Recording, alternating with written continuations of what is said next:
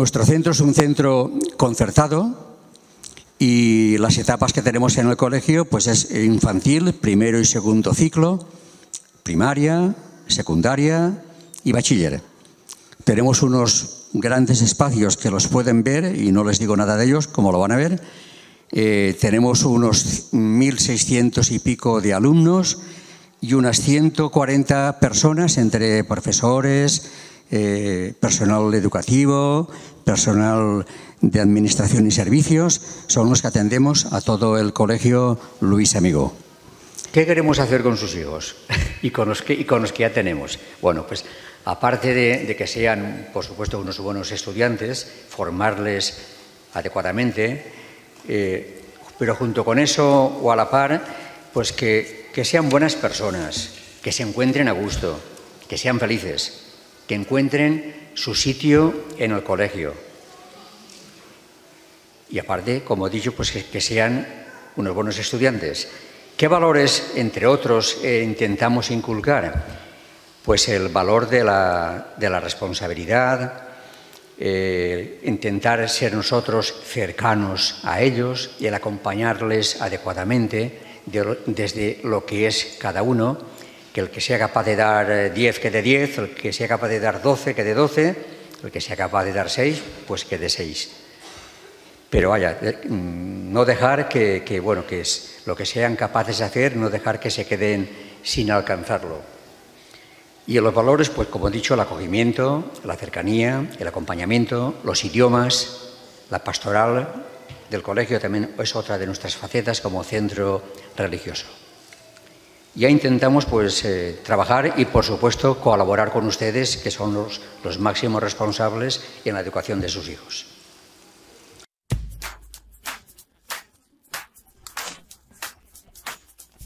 Elegir colegio para nuestros hijos es una de las decisiones más importantes que debemos tomar.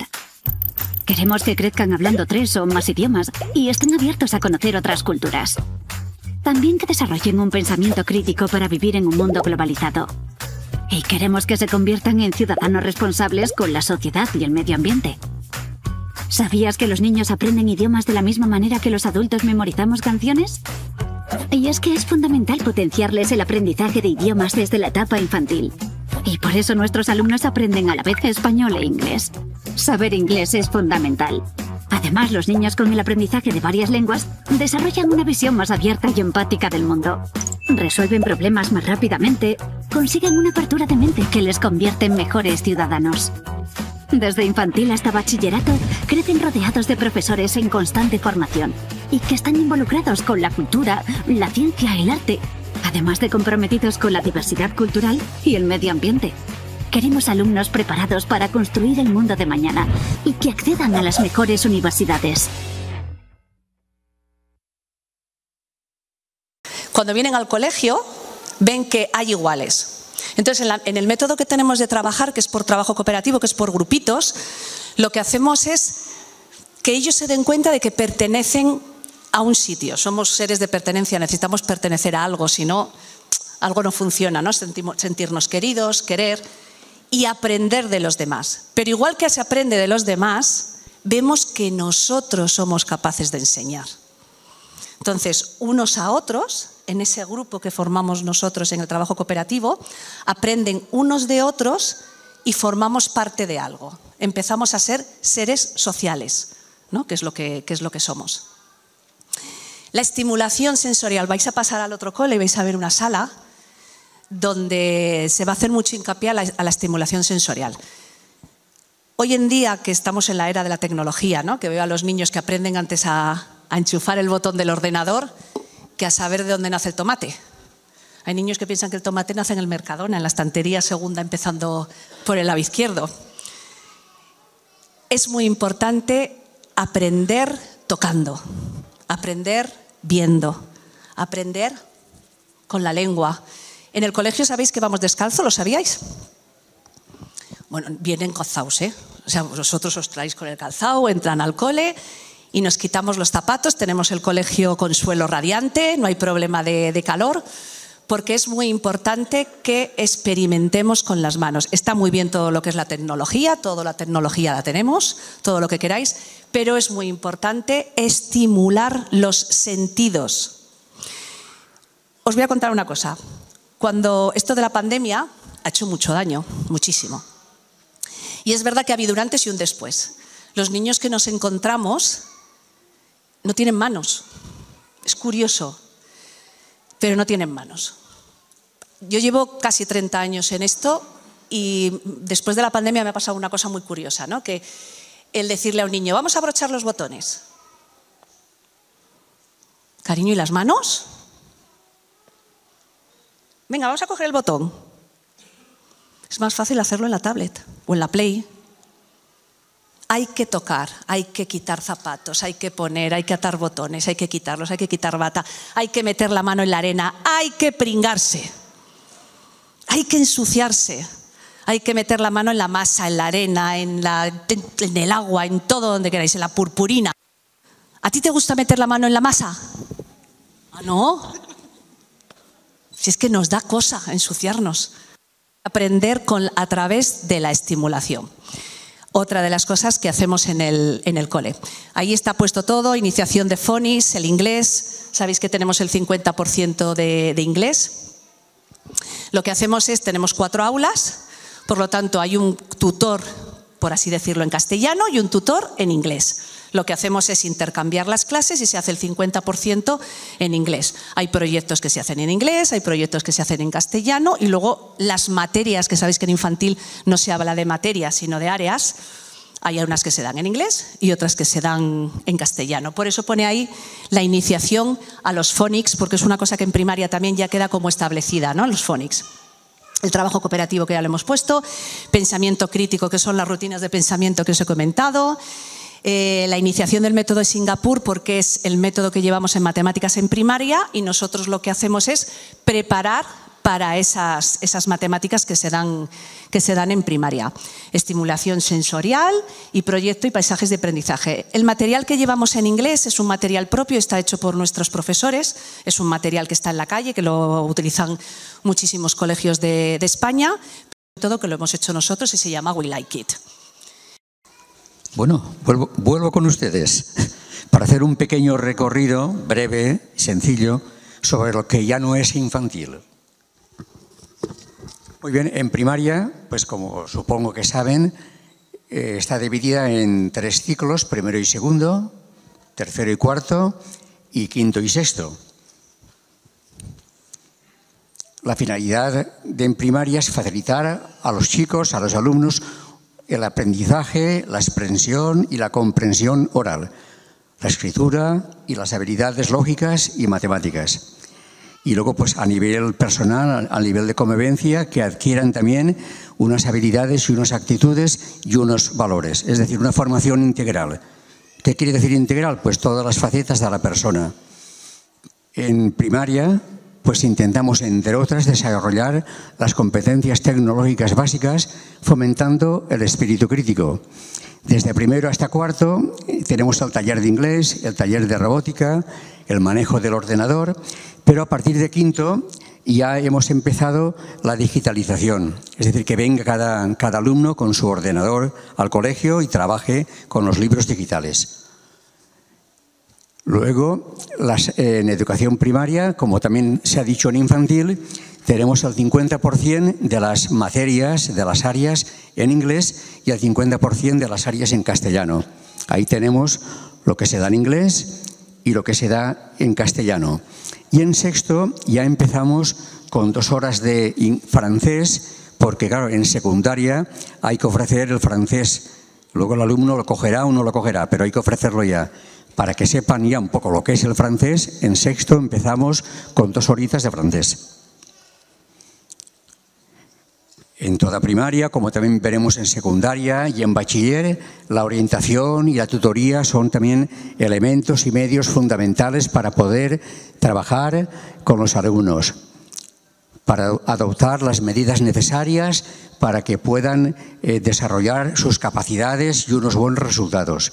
Y hay, por supuesto, una buena coordinación debe de haber entre lo que es el profesorado, lo que es el departamento de educación y lo que son las familias. Caminar todos de la mano, todos en el mismo sentido, para atender a los alumnos lo mejor que podamos y sepamos.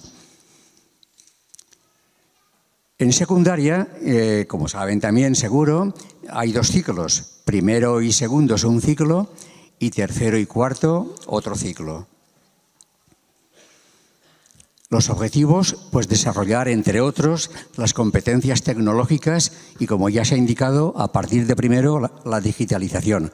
Trabajar con los medios digitales en diferentes áreas. Y ya estamos también trabajando con unas dinámicas pedagógicas como son el trabajo cooperativo, que ya nombró Sonia, la mediación escolar y el aprendizaje y servicio.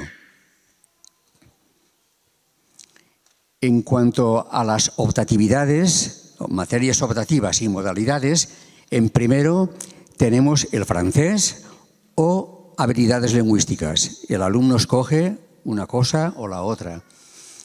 Y se ofertan también en inglés la tecnología, la digitalización y la geografía y historia.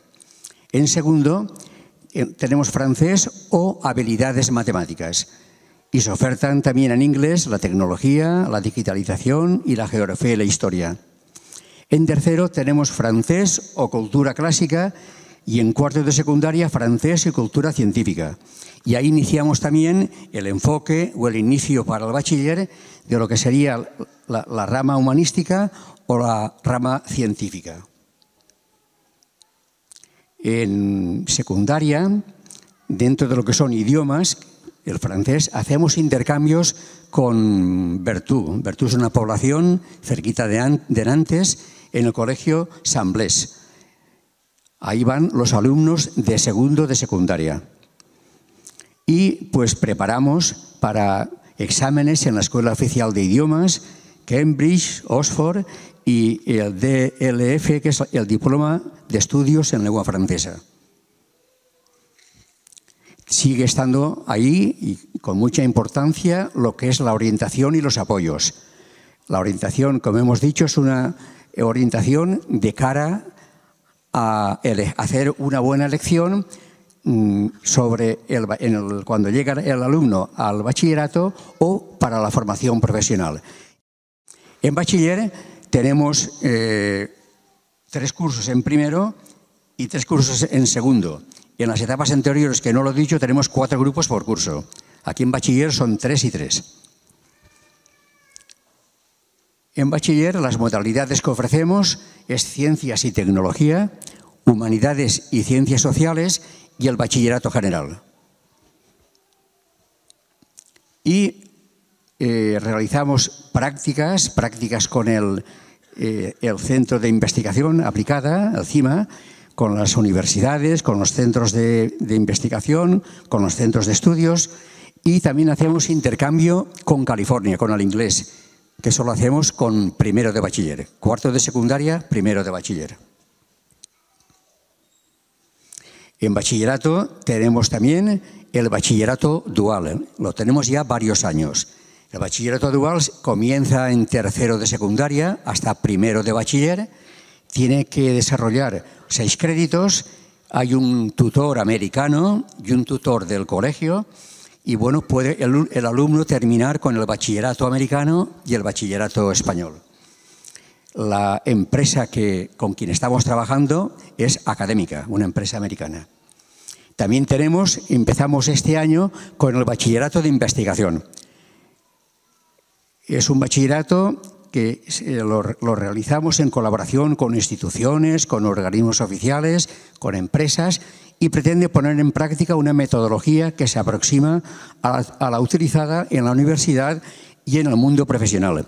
También ahí tenemos un tutor en el colegio y un tutor en la empresa correspondiente. Eso supone una hora más de formación a la semana, una hora más de trabajo, se desarrolla un trabajo de investigación y tiene el mérito que puede conseguir un punto más en la nota de bachillerato, que eso le va a facilitar para la selectividad estar mejor posicionado. Y bueno, estos son pues, eh, reincidir sobre el tema de idiomas, sobre las matrículas que posibilitan luego facilidad de estudios o gratuidades de estudio en la universidad. Y el Departamento de Orientación. Seguimos porque es muy importante la orientación educativa, la psicopedagogía y el, personal que constituye esa atención en todas las etapas. Tenemos el equipo de orientadoras en infantil, en primaria, secundaria y bachiller.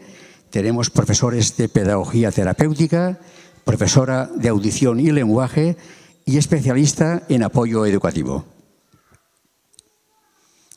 Eh, ¿Qué pretendemos? Pues prevenir. Prevenir eh, la evaluación, hacer un seguimiento del alumnado para prevenir posibles dificultades que vaya a tener en cada etapa educativa, detectar al alumnado con necesidades y evaluar esas necesidades. Y luego intervenir, que podemos intervenir a nivel de colegio o también si eh, rebasa eh, la, la, necesidad del alumno, rebasa lo que podemos hacer en el centro, pues la orientamos para que fuera también se le ayude, se le oriente y se le apoye. Y bueno, pues hasta ahí sería esta breve presentación, este breve recorrido de lo que es desde primaria hasta el bachillerato. Y ahora, pues, Estefanía y Maribel nos van a decir ya cosas concretas que, que van a, a, indicarles de cara a la matriculación, de cara a cosas prácticas como son horarios, como son actividades. Les dejamos con ellas.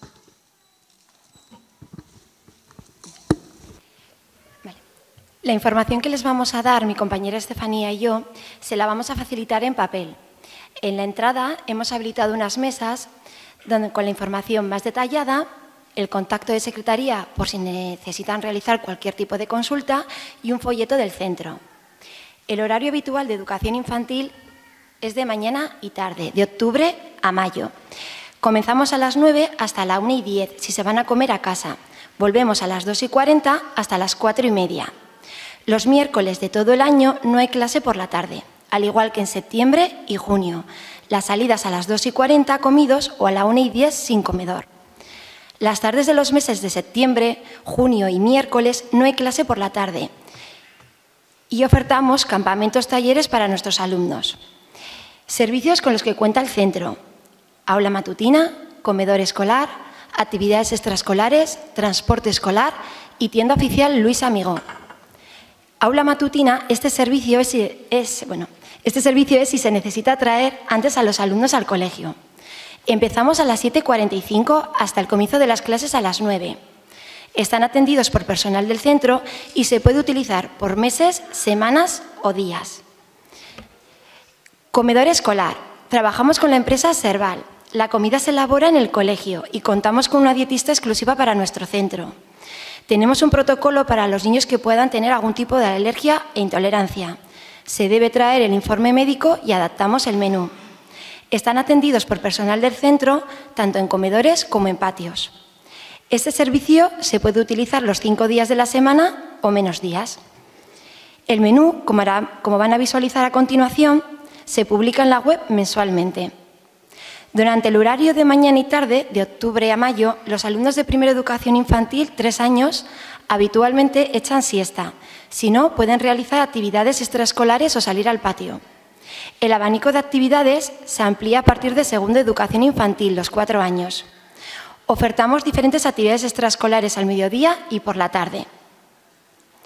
Todas las actividades se publican en la página web del colegio, como hemos comentado, fomentamos el deporte y los idiomas. Son un complemento junto con la pastoral a la formación de sus hijos.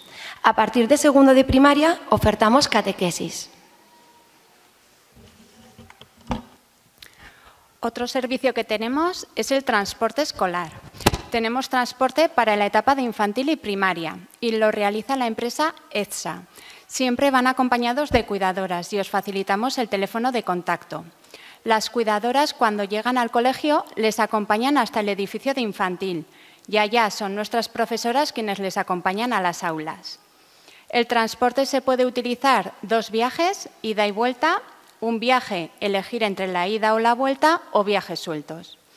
Las rutas están publicadas en la página web del colegio y son las actuales. Se pueden solicitar nuevas paradas y la empresa de transporte valora si es posible hacerlas.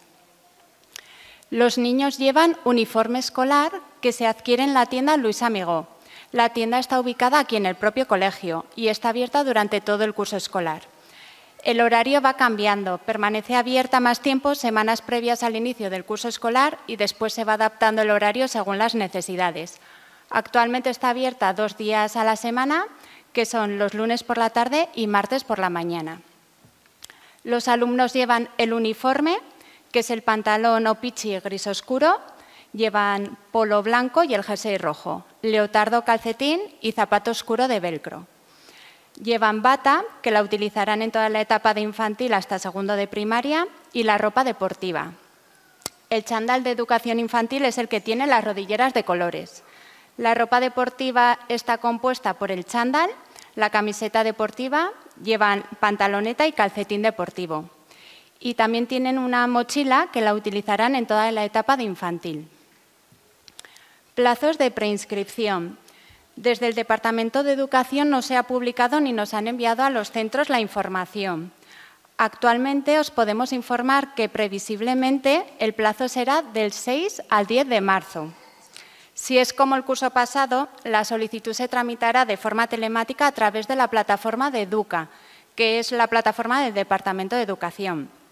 Pero también se podrá tramitar de manera presencial en la Secretaría del Colegio. Importante solo presentar una única solicitud, no se puede duplicar. Y en esa solicitud se pueden poner varios colegios. En cuanto nos faciliten la normativa, la publicaremos en la página web del colegio, pero para cualquier duda, consulta, os podéis poner en contacto con nosotros, o bien por teléfono, por mail, o podéis venir personalmente al colegio. La baremación. Ahora vais a visualizar la baremación del curso pasado. Sabemos que es algo que preocupa, pero deciros que se barema cuando hay más solicitudes que plazas, si no, no es necesario. En los últimos años no ha hecho falta baremar, hemos admitido todas las solicitudes. Eh, a continuación visualizaremos el último vídeo y pasaremos al turno de las preguntas.